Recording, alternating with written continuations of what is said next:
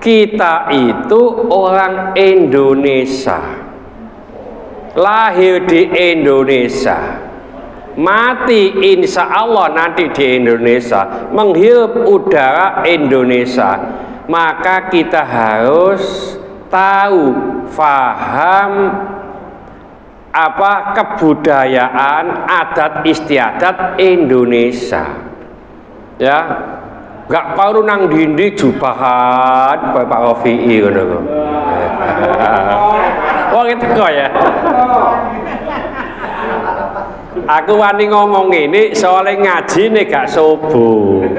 Nek ngaji subuh awak dewi ya kena wong ini subuh ya jubahan.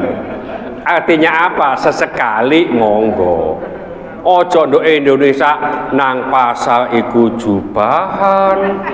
Ya jadi rapat jubahan.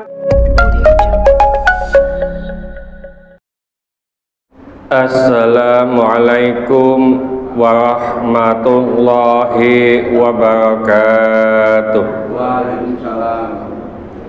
Mari kita lanjutkan kajian kita di kitab Al-Muqtatafat li Ahlil Bidayat. Pada kesempatan ini Kiai Haji Marzuki dalam kitabnya Al-Muqtatafat li Ahlil Bidayat memberi judul Al-Watoniyatu yaitu kebangsaan.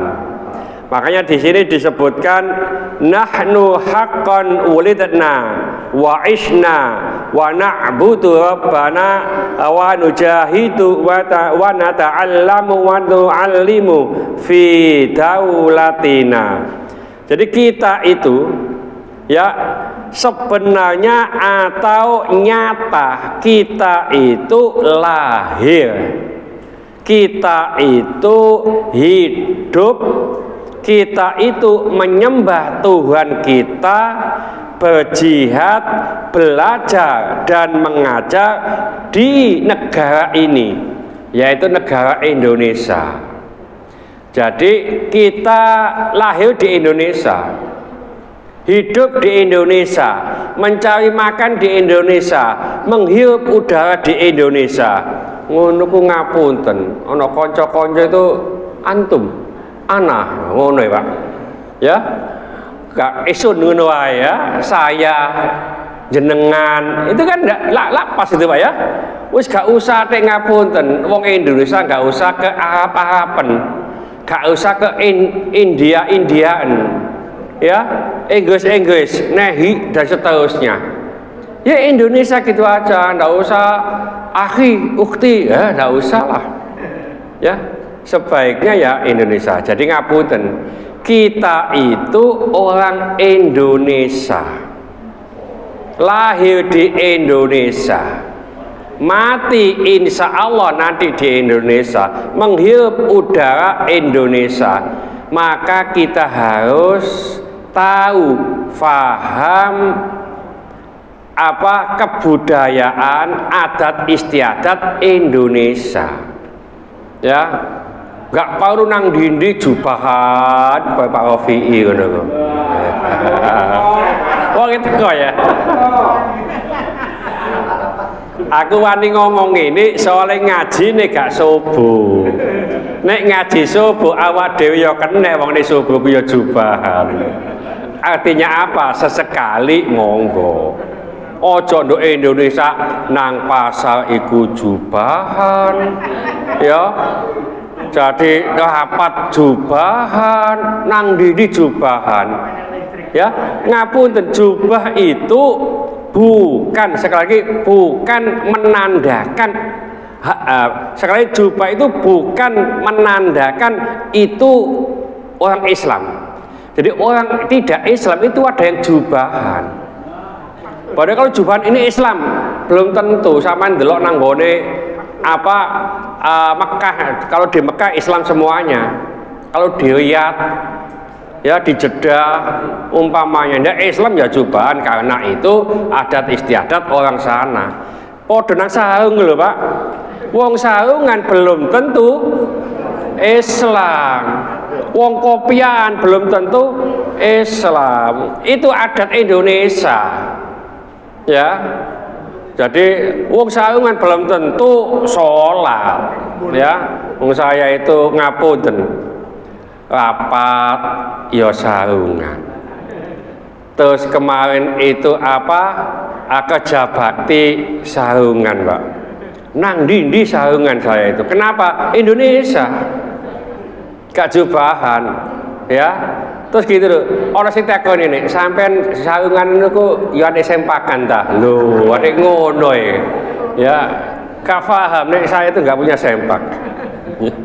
Ya jadi ini kita itu hidup di Indonesia menyembah Allah di Indonesia ya. Karena apa? Ngapunten. Tidak semua negara Pak itu aman bisa beribadah dengan baik. Contoh ngapunten di Suriah di Afghanistan umpamanya atau di Gaza sana ibadah itu tidak bisa setenang kita ini. Ngasak no ono pengajian koyok ngene iki. Salat wae kadang-kadang wah kena bom do ono. Nah nek kene awak dhewe ya iso pengajian, iso mangan jajan, macam-macam. Di sana ndak bisa. Makanya kita perlu bersyukur. Ya. Lalu di sini tasuful imami ala ra'iyati manutun bil maslahati. Jadi para imam, para pemimpin itu kebijakannya diharapkan untuk masyarakat untuk rakyatnya. Ya. Lalu manutun bil maslahati. Yang berlandaskan tentang kemaslahatan. Jadi kalau diupayakan jadi pemimpin di suatu negara itu berlandaskan kemaslahatan untuk warganya. Ya, jadi di ini sama la yajuzu takul mahaqqaqi li ajlil mah mauhumin.